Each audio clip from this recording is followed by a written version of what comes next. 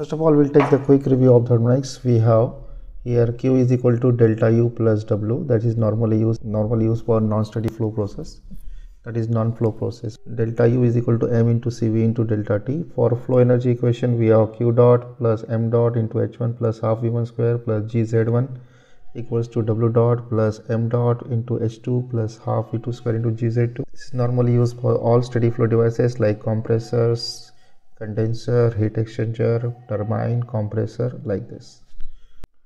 The symbols are to be used very carefully. In the case of thermodynamics, we are using a symbol equal to q dot, that is derivative of q with respect to time, is normally given by m dot multiplied by q. m dot is kg per second. This one is dot means kilojoule per second. It means that the lowercase q represents the specific quantity that is kilojoules per kg. If you have got q dot, you use the rate term. Small q, you can use the specific. Capital Q, you can use for total.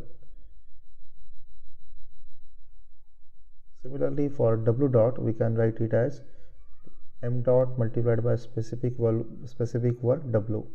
So total work is given by m multiplied by W. So follow this notation, your subject will become more simple. In our analysis, we will neglect the changes in uh, velocity and the potential energy. So they are very negligible quantity in case of steady flow devices.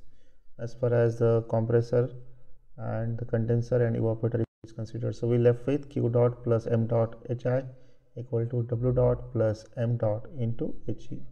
I for inlet and e for exit. And if you divide this quantity by m dot, you will get q plus hi equal to w plus he.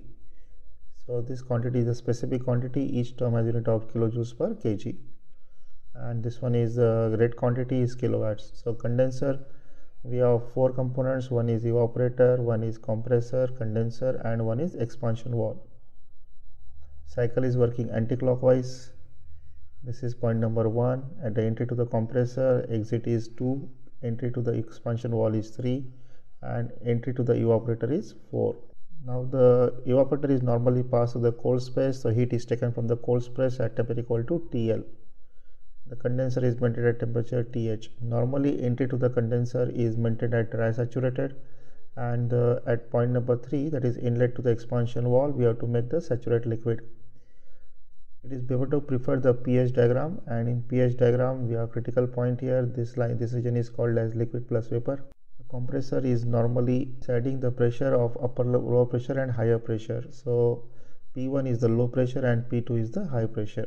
Starting point is 1 is dry and saturated and point number 3 is on high pressure is saturated liquid. So these are the two standard points. You can look at the graph. Point number uh, 1 to 2 is the isentropic process. So from 1 you can locate the isentropic process. So point number 2 represents the superheated point. During this process entropy have to keep constant. The temperature T2 is more than the temperature of the condenser. 2 to 3 is a constant pressure cooling process that takes place in the condenser. And 3 to 4 is the throttling process throttling process is normally irreversible process therefore we will show this by dotted line. This one is a vertical line because your x-axis is enthalpy axis. So enthalpy at point number 3 is always equals to enthalpy at point number 4 and 4 to 1 is the constant pressure heat removal process. So refrigerating effect is taking place about point number 1 and condenser the work required to compressor is 2 minus 1 so two processes are constant pressure, one process is entropy and one process is isoenthalpic.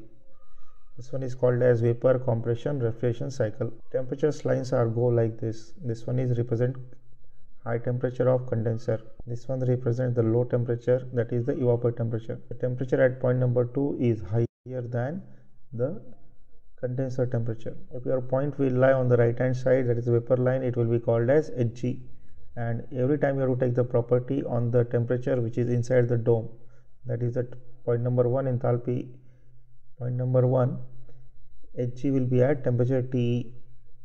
For point number 3 is lying on saturated liquid line. So is HF at the condenser temperature. H3 is same as H4 but H3 is given from the equation of 1 and HF and Hg at temperature T. So this is HF plus X4 multiplied by HFG at temperature TE. Point number 2 you have to calculate using the superheat tables. At point number 2 we have the enthalpy equal to Hg.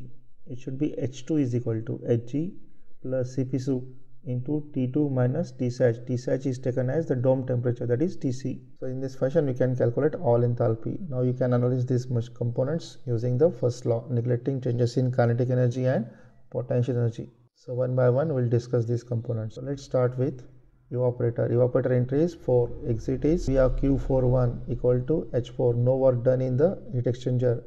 So Q41 is H1 minus H4. H1 is more than H4. So this is the positive quantity. Positive means heat is absorbed. Heat rejected is taken as negative and heat absorbed is taken as positive. Opposite sign for work done.